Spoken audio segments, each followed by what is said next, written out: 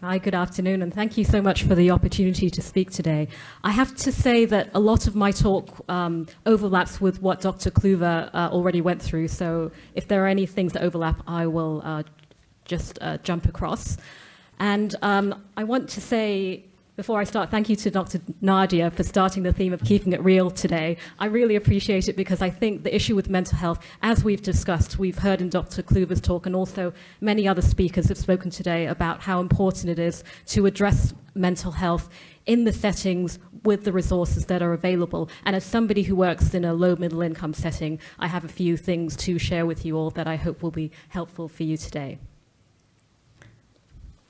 So um, in the next 15 minutes, I'll really talk about what we actually mean by integrating mental health care and why the WHO endorses uh, this uh, form of care delivery. Um, Dr. Cluver's been through a lot of um, points about why it's important, but I'll uh, emphasize this talk about um, what we've done in Asia, and Dr. Cluver talked about some wonderful things that have been done in Africa, and also um, some words of wisdom from the supervising um, psychiatrist that looks after our collaborative care program in Bangkok in case it's useful for you. So, um, as a clinician, we're very passionate about looking after our patients, and I'm very grateful actually to have listened to Dee's talk today. I thought it was very moving, and I think um, this patient um, reminded me about why it's so important that we, we do this work. And so she's a patient that I met about two years ago 20 year old transgender woman who was diagnosed with um, HIV and after diagnosis uh, was put onto TLD, was virally suppressed. And her psychosocial history was that she was living with her parents and unusually were actually very, for Thai culture anyway, were very accepting of her HIV diagnosis and they were very uh, supportive emotionally and financially. At the time was a high school student and was pretty open to us from the outset that she used a lot of alcohol and other um, recreational drugs, ketamine, ecstasy, injected crystal methamphetamine. And at one point during her care actually came to us and said, look, I really want to give up these drugs. Can I see a psychiatrist? And saw the psychiatrist once and then uh, changed her mind and was lost to follow up. Um, and didn't really take the psychiatric medication. And when, at this point, when we saw her, she, she actually had come to the emergency room because she was physically abused by her boyfriend. Uh, our team went to see her in the emergency room. The PHQ-9 was 17, which is uh, high. And she said to us from the outset that she didn't want to see a psychiatrist this time around, even though she knew she was quite stressed out. Stopped taking her ART because she was just feeling fed up. And so the question I want to ask you in the audience is, if you were in the situation where you were in a low-income country, the patient didn't want to see a specialist, and you probably had limited resources anyway, and sending her across, how you would manage this patient in quite um, an extreme situation, and you know that if you left it, it would affect her overall health and her HIV outcomes as well in terms of um, the integrated mental health care model. And so I just want to touch on what do we actually mean by integration. And so essentially, it's use receipt of elements of one service incorporated into the regularly functioning of another service. So, for example, in our service in Bangkok, we primarily provide HIV care, but as non mental health care specialists, we provide mental health care all within the same clinic. And so it's inclusion of mental health care into general hospitals or primary care. And another key word I want to emphasize with it is the continuity of care between different providers and health systems and the collaboration between care providers. I think it sounds like a fancy word, but I think anybody who's tried to collaborate between teams knows that it's a lot of healthcare systems are complicated, there's a lot of politics and it's fragmented, and I think collaboration takes a lot of effort and work. And so although I, I feel that it's a lot of work, but it's so worth it for the patients. And of course, promotion of self-care is always very, very useful. And um, Dr. Cluver and, and, other speakers today have already touched on mobile health technologies and how this can help to overcome many of the logistical challenges that low to middle income countries are faced with. And also regarding staff, and we had a lot of challenges with implementing this into our settings as well, was capacity building because a lot of staff were worried about, well, we're not specialists, we're going to be dealing with people who are trying to kill themselves do we have the skills? How do we manage this? And so there was a lot of capacity building by the specialists in the beginning, and not just redefinition of roles for the people in the primary care settings, but also for the mental health specialists themselves. So instead of seeing patients themselves, uh, becoming more of a supervisor and supporting not just the mental health care of the patient, but also the mental health care of the very stressed non-specialist trying to deliver this healthcare in very resource-limited settings. Um, so Dr. Nadia talked a lot about this morning and the challenges that she's faced in Nigeria about um, the lack of the, the, very limited resources and other challenges that um, they face in, in their settings. And I think this graph from uh, the Mental Health Atlas from 2020 really shows that if you look at um, the African region and the Southeast Asian region where I work and you compare it to the number of mental health care specialists that are available per 100,000 populations, the numbers are hugely different. I mean, we only have you know, about one to five per 100,000 compared to about 50 in um, the European region. And so this is the challenge that the reality, the reality check that we're faced with. And so Dr. Cluver already mentioned this, that we know that mental health conditions disproportionately affect people affected by HIV. And by integrating mental health care into services that already exist, it improves access to care and, of course, improves adherence and outcomes, as uh, we saw in, in, the wonderful graphs seen in Dr. Cluver's presentation, and also helps to prevent new HIV infections through treatment as prevention, improves overall health and well-being. And I think the important thing for low to middle income countries is that it's a feasible, affordable, and cost-effective uh, delivery system.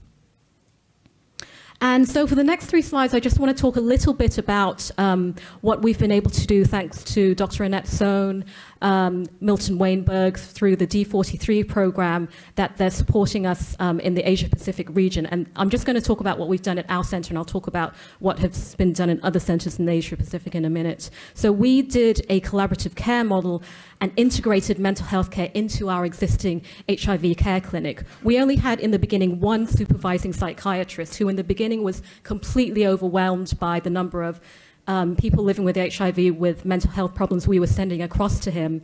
And so we decided that he was going to supervise us to help us look after our own patients. So we had uh, monthly conferences, and our existing team, you can see on the screen, are made up of pediatricians, some of us are sitting here, uh, social workers, health advisors, psychologists, and peer supporters.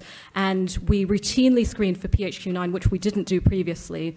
Um, the supervising psychiatrist provided us with a directed mental health care protocol, which basically meant he would give us advice on how to act on different scores, how to manage um, people with suicidal ideation, how to prescribe basic uh, um, psychiatric antidepressants. And the advantage of this was the kids trusted us. They had an ongoing existing rapport with us because many of these children have been being looked after us all of their life because many of them are, uh, have perinatal HIV. And the scope of care was not as scary as I think many of us feared in the, be oops, in the beginning. Um, so managing depressive symptoms, suicidal risk management, and also other mental health disorders that were very common in this group. So many of them had other mental health disorders that were hiding, such as bipolar disorder, OCD, and also um, another very common challenge we have is substance addiction. Uh, some of you may know that ca cannabis was recently legalized in Thailand, and many of our teenagers also use crystal amphetamines. And uh, these are some numbers that I want to show you from uh, what we did through this program so far. So between uh, 2020 and 2021, we uh, screened 376 youth, and a quarter of these had high PHQ-9 scores or suicidal ideation. And of these 25%, uh, we managed to look after 85% of those through counseling and counseling or, or counseling plus pharmacotherapy within our non-specialist team the people, the, 20, the same 25% of these people at one year follow up, 91 were still retained in care.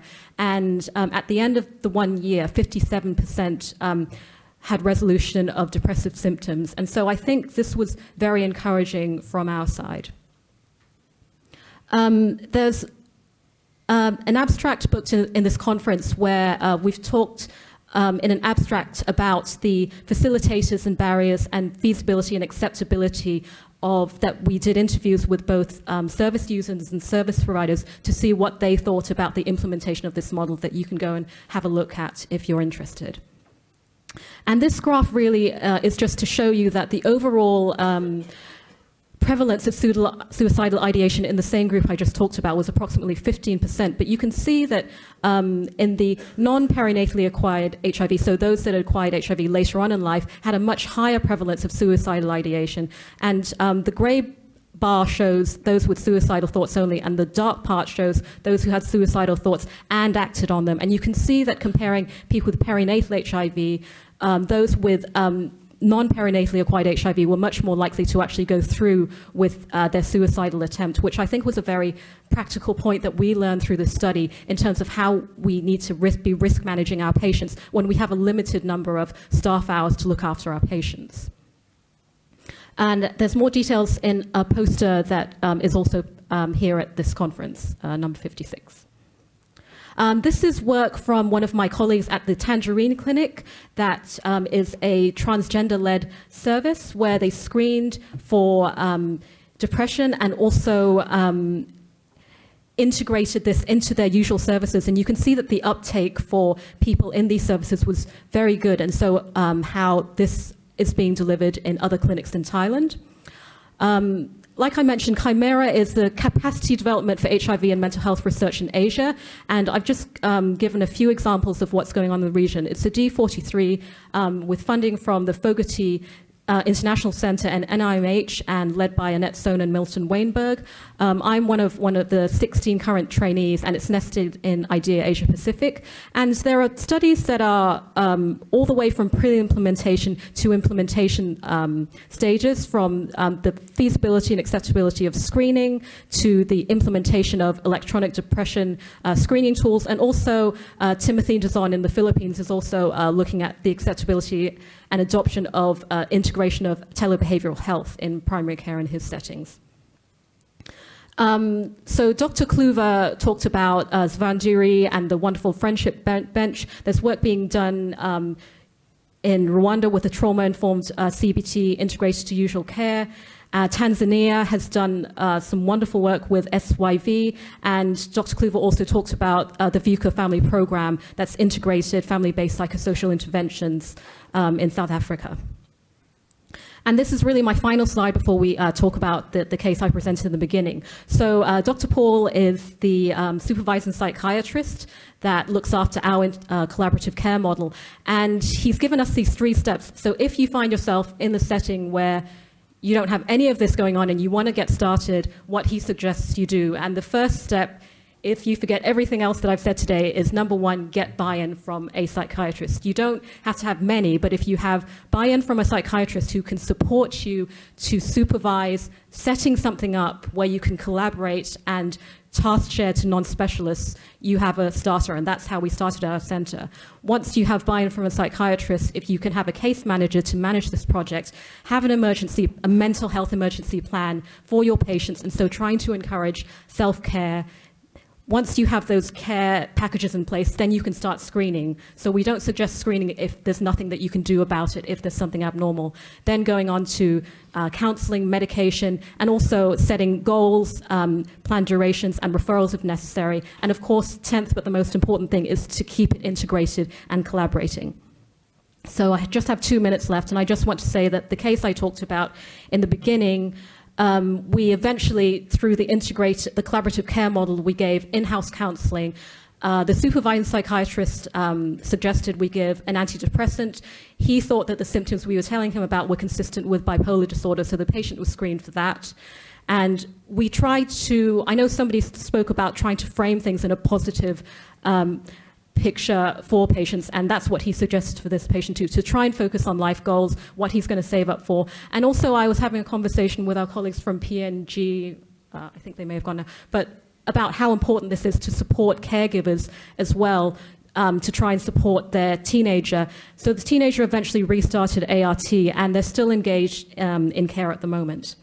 So these are my take-home messages, really, that mental health care integration is in the incorporation of mental health care into another regular service, and uh, it's really, really suitable to low to middle income countries because it increases access, um, improves healthcare outcomes and it's cost effective and it's very feasible and affordable. Um, I just want to thank uh, Dr. Annette Sohn, my um, advisor, Professor Thanyawee, and all of the wonderful team in Thailand and uh, Columbia University for making this possible. If you'd like any more information, please check out our website um, on the right hand side. Thank you. Thank you.